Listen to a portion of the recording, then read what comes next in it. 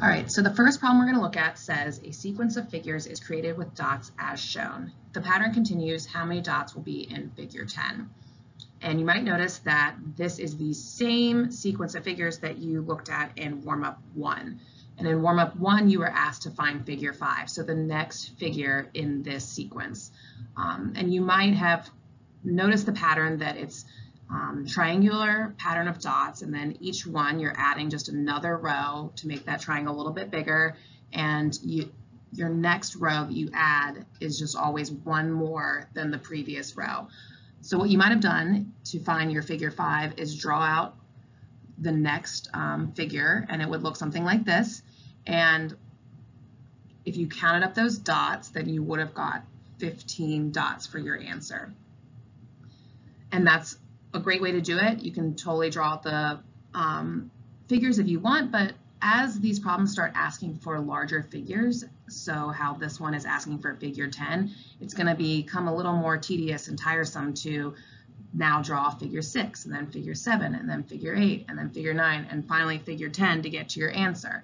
So we're going to try and find a shorter method to get to our answer here. So what I'm going to look at is, is, is there a numerical pattern we can establish that's going to make it easier to count without having to draw out these figures.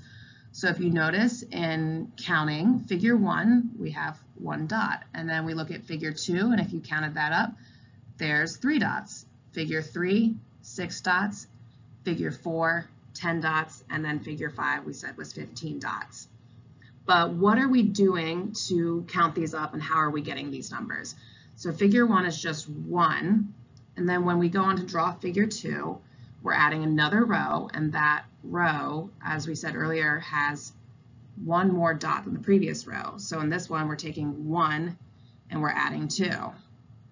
For figure three, we're making another row and this one is gonna have one more dot than the last one. So now we're adding 3. So it's 1 plus 2 plus 3.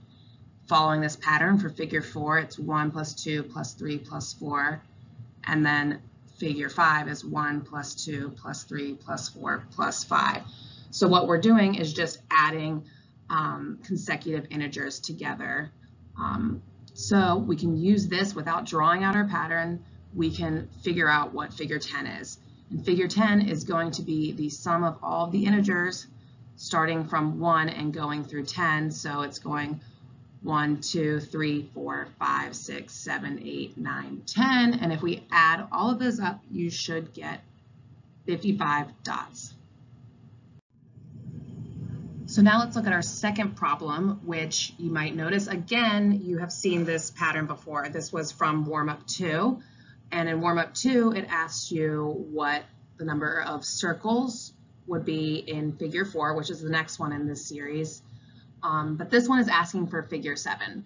So if you, again, drew out this pattern, you might have drawn something that looks like this. Um, and if you counted all of those circles up, you would have gotten 15 circles. But it's going to be kind of difficult to continue to draw these patterns, especially because these circles are starting to get pretty tiny and it's going to be a little difficult to even get them all in there, especially as we're getting out to figure seven. So let's do what we did at the last one and try and establish a pattern here. So the number of circles that we have in figure one is one. And then when we move to figure two, we have three. And then when we move to figure three, we have seven.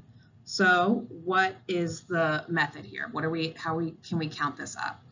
So looking at figure one, again, it's just one. And then figure two, we're taking that larger circle and we're inscribing two circles inside of it. So we're adding two more circles. So it's just one plus two. All right, and then when we move on to figure three, we take the two smaller circles and we inscribe two smaller circles inside of each of them. So we're adding four more circles. Then when we move to figure four, we look at those four small circles and we draw two even smaller circles inside each of these, which gives us eight more circles. So we're adding one plus two plus four plus eight. So you might notice that this pattern, we are basically adding two more or two times the number that we previously added. So when we moved to figure two, we added two, which is two times one. And then when we moved to figure three, we added four, which is two times two. And we moved to figure four, we added eight, which is two times four. So it's just gonna be a continuous addition of uh, multiples of two or powers of two. Um, so to find figure seven, we would follow this pattern and add 1 plus 2 plus 4 plus 8 plus 16, which is 2 times 8, plus 32, which is 2 times 16, plus 64, which is 2 times 32.